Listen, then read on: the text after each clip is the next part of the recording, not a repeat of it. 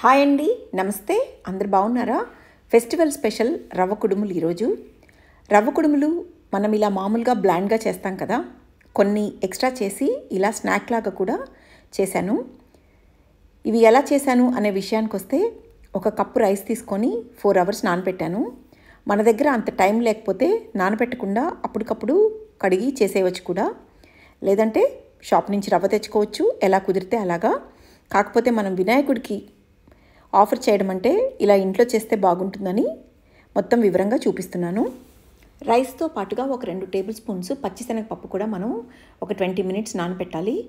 బియ్యంలో స్టార్చ్ పోవడానికి బియ్యం బాగా కడిగి కొంచెంసేపు ఇలా ఉంచితే మొత్తం వాటర్ అంతా దిగిపోతుంది. తర్వాత ఒక పల్చటి క్లాత్ మీద వేసి బాగా డ్రై అయ్యే వరకు ఎండలో ఆరబెట్టాలి. ఇది మనం ఒకరోజు ముందే చేసి పెట్టుకుంటే చాలా ఈజీగా ఉంటుంది. ఆరిన బియ్యాన్ని ఇలా డ్రై మిక్సర్ జార్లో వేసి బరకగా పట్టుకోవాలి. ఒక కప్పు రైస్కి టూ కప్స్ వరకు మనకి రవ్వ వస్తుంది. ఇప్పుడు ఒక లోతైన గిన్నెలో ఒక టీ స్పూన్ నెయ్యి వేడి చేసి దాంట్లో ఒక టీ స్పూన్ జీలకర్ర వేయాలి. ఒక కప్పు రవ్వకి రెండు కప్పులు వాటర్ పోసుకోవాలి. నేను ఇక్కడ టూ కప్స్ రవ్వ యూస్ చేస్తున్నాను కాబట్టి నాలుగు కప్పులు నీళ్ళు పోస్తున్నాను. రుచికి తగ్గట్టుగా కొంచెం ఉప్పు వేసుకోవాలి. ఒక హాఫ్ టీ స్పూన్ సాల్ట్ అయితే సరిపోతుంది. ఇలా వాటర్ ఉడికొచ్చిన తర్వాత మనం కడిగి పెట్టుకున్న పచ్చిశనగపప్పు కూడా వేసుకోవాలి. వాటర్ ఇంకొంచెం బాయిల్ అయినప్పుడు ఇలా రవ్వను పోసుకొని కలిపెట్టాలి. అలా అయితే మనకి రవ్వ ఉండకట్టకుండా ఉంటుంది. సేమ్ మనం ఉప్మా రవ్వ ఎలా పోస్తామో అలా పోస్తే సరిపోతుంది. పోసాక ఇది బాగా కలిపి మంట తగ్గించి కవర్ చేసి నీరు మొత్తం ఎగిరిపోయే వరకు ఉంచాలి. ఇలా నీరు మొత్తం ఇంకిపోయేలోగా మధ్య మధ్యలో రెండు మూడు సార్లు ఓపెన్ చేసి చెక్ చేసుకుంటే మనకు అడుగు మాడకుండా ఉంటుంది. ఇప్పుడు ఇది పూర్తిగా అయిపోయింది.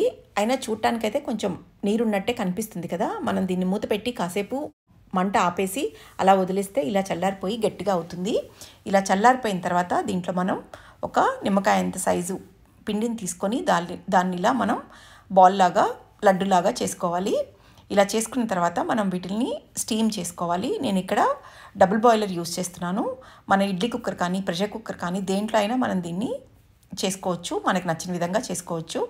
ఇలా వీటిని హై ఫ్లేమ్ మీద ఉంచి ఒక టెన్ మినిట్స్ వరకు ఉడికించాలి. టెన్ మినిట్స్లో మనకి ఇవి కంప్లీట్గా స్టీమ్ అయిపోతాయి. స్టీమ్ అయిపోయిన తర్వాత కాసేపు వదిలేద్దాము. వెంటనే తీస్తే ఆ వేడికి షేప్ ఉండదు పాడైపోతాయి. చూశారు కదా? ఇలా పర్ఫెక్ట్గా మనకి వినాయకుడి ప్రసాదం రవ్వ కుడుములు తయారైపోయాయి. ఇవే రవ్వ కుడుములని నేను కొంచెం చిన్నవిగా చేశాను. చేసి వాటిల్లో ఇలా తిరగమత వేశాను. ఉల్లిపాయ కరివేపాకు తెల్లుల్లిపాయ కొంచెం ఆవాలు జీలకర్ర ఇవన్నీ వేసి తిరగమత పెడితే ఇవి చాలా టేస్టీ స్నాక్గా కూడా తయారయ్యాయి. సో ఇలా కూడా మనం చేసుకోవచ్చు. అందరికీ వినాయక చవితి శుభాకాంక్షలు. Please stay home and stay safe and take care of yourself see you soon in my next video till then bye bye